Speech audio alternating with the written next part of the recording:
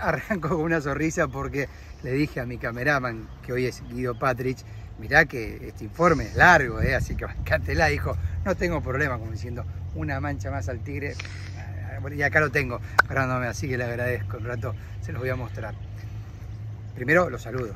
Hola, hola, hola, hola, hola a todos, espero que se encuentren muy bien, abrazo grande para aquellos que están viendo el video, hombres, mujeres, eh, niños, adolescentes, niñas, eh, todo, todo, todo, todo, todo acá, siempre bienvenidos. Gracias por ser parte de mi canal. Estoy aquí en el predio de Seiza, donde Boca se entrenó por la mañana y comenzó una jornada de trabajo grupal, porque todos los jugadores participaron de la práctica matutina en Ezeiza. Ayer lo he hecho solo Oscar Romero, ahora todos juntos tienen la posibilidad de trabajar. Bataglia empieza a preparar el equipo, con el correr de los días lo irá definiendo para jugar contra Independiente. No descarto que haga unas variantes. En la mitad de la cancha podría volver Ramírez, por ahí por el Pulpito González. Y hasta si cambia el esquema, Aaron Molinas podría arrancar como titular. Ahí saldría Toto Salvio. La otra opción es que siga con los tres delanteros y que Toto Salvio, Benedetto y Villa continúen como titulares.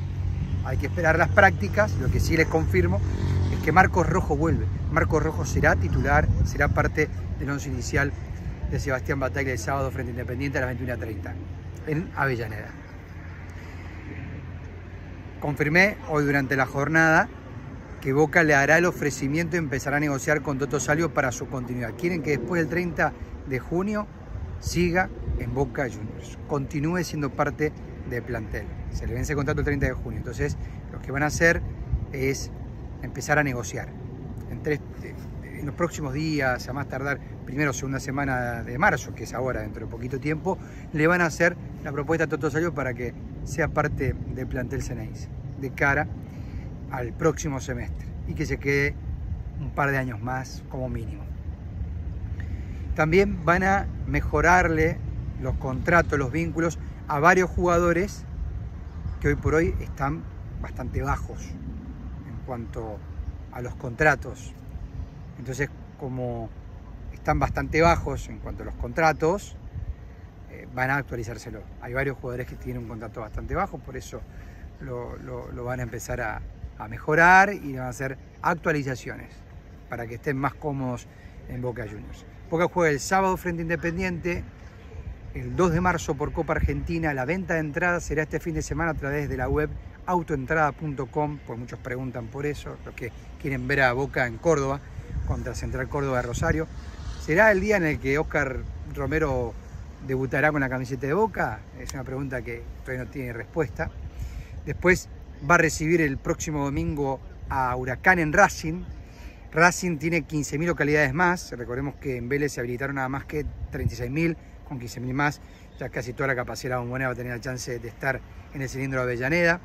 Después Huracán visita a Estudiantes, luego visita a River y recién ahí tendrá el próximo compromiso de local, donde ya todo indica que la bombonera, que el campo de juego está mucho mejor, va a estar en condiciones para, para jugar un partido oficial. Hoy, el cumpleaños de Fran Fabra, de Fran Justi Fabra, que hizo un golazo el fin de semana contra Central y se lo espera a Fabra sin dudas, que siga teniendo este nivel que es muy bueno. El sábado contra Independiente en Avellaneda. Partido clave, un partido muy importante. Ya pasa Chicho Serna que saluda. ¡Grande Chicho! Saluda a Chicho Serna. Eh, el 5 de Boca, como, como él siempre dice.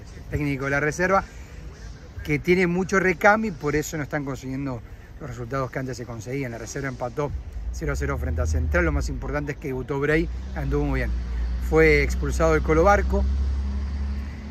Lo vinieron a ver emisarios de Inglaterra, Italia, de España también.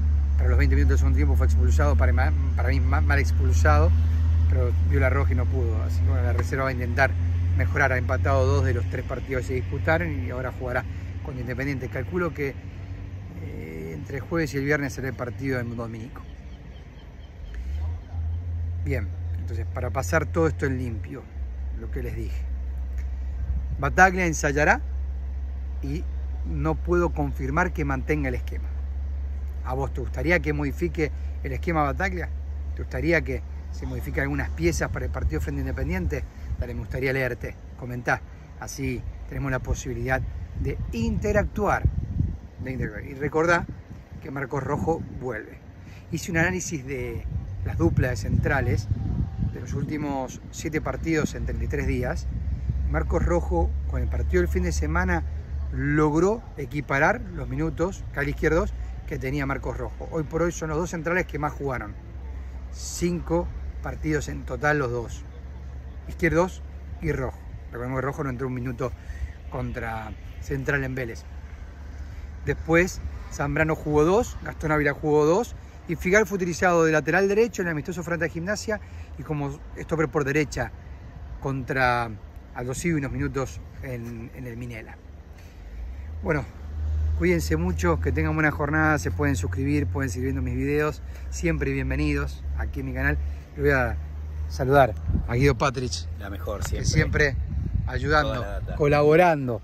Le dije que no iba a ser tan largo y le mentí, porque más de seis minutos grabó un pulso espectacular. Con la manito así, el celular. Bueno, chao, cuídense.